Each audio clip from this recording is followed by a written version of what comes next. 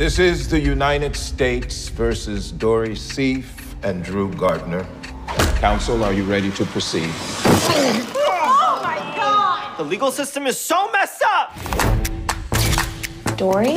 Oh my god! I haven't seen you since high school! Hey. Girl, look at us. We made it! Okay, so who told? Out with it. What do you mean? Obviously, one of us told the authorities. It wasn't me. It wasn't me. What about Chantal? What? I think it was April. It wasn't April. Great, then it was Elliott. How could it be me? I brought it up.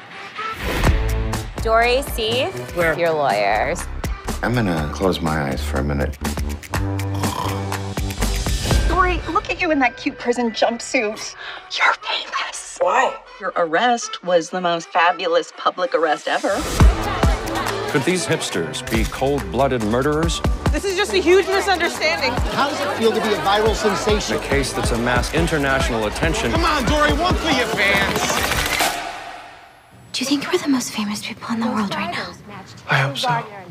Me too. We just ran Mr. Goss's prints. There's a perfect match where the body was found. I don't have fingerprints. When I was 12 years old, I pressed my hands onto a hot plate to impress some straight friends, and they burned off. Now, do you want to arrest me, or should I just go? Get out. Do you want to get drinks? Let's get a drink. I mean, personally, I'm a huge fan. I'm all in. I know a place far from all of this. The Hamptons! I hate being put on the spot. Well, that's what court is. Do you want to join Jesus Christ? Yes! I'm going to save us. The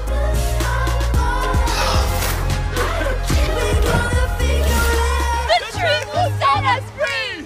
The truth will set us free! Stop, stop. You're all psychopaths. Just manipulating and killing people all the